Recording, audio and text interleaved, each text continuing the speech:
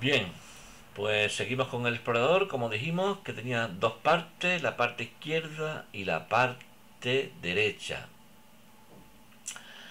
Para acceder al mismo hay dos caminos, utilizando el botón derecho del ratón y haciendo clic en inicio explorar o utilizando el comando explorar del icono de cualquier ventana con el botón derecho, ¿vale?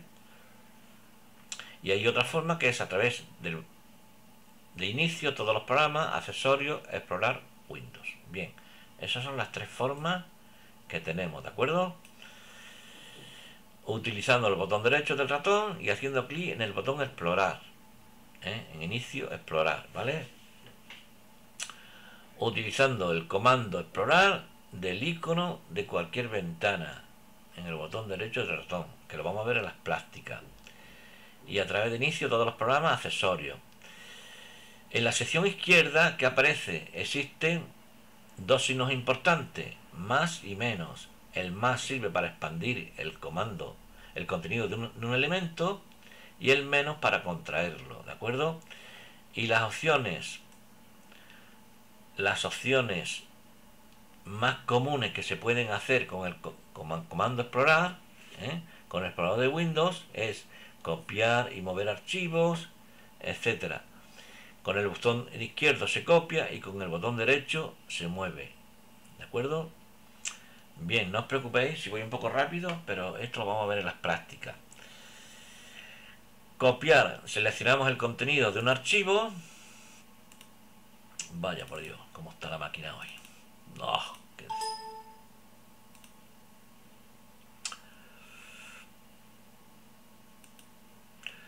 Copiar seleccionamos el contenido de un archivo, ¿de acuerdo? Y lo llevamos y lo pegamos en otro documento. ¿eh? Cortar, seleccionamos el contenido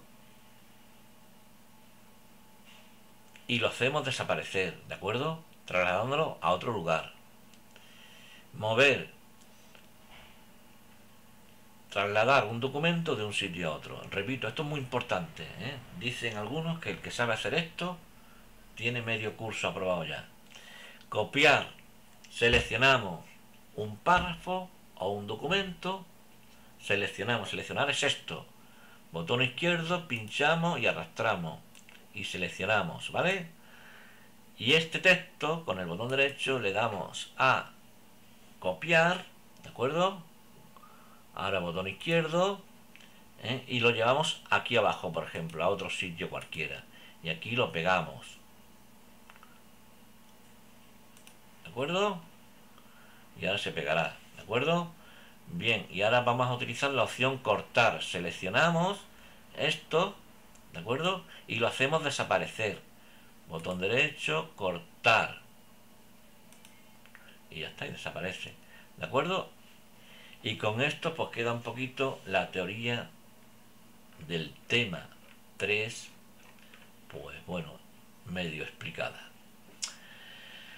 El orden jerárquico, como hemos dicho, ordenador, dentro del mismo va la unidad de disco, disco duro, dentro del disco duro van las carpetas, dentro de las carpetas van otras carpetas o archivos, ¿vale? La unidad del disco duro es la C, las carpetas van de color amarillo, ¿eh? y tienen un nombre, los archivos van dentro de las carpetas. Esto no es muy importante, pero en fin, los tipos de archivos son ejecutables, complementarios y de datos. Con la extensión ejecutable S, complementario con y de datos DAT. ¿Vale? Por ahí nos podemos acordar.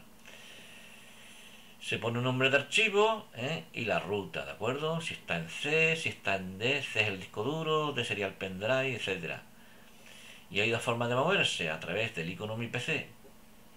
Hay dos formas de moverse por el sistema de archivos. A través del icono Mi PC o, o equipo y a través del explorador Windows. En la ventana Mi PC, pues bueno, pues nos aparecen contienen los objetos de cada unidad, ¿de acuerdo? Y la barra de herramientas Mi PC aparecen por omisión que nos facilita el trabajo. Los botones estándar, atrás, adelante, la barra de dirección, ¿eh? muestra la ruta o vía de acceso del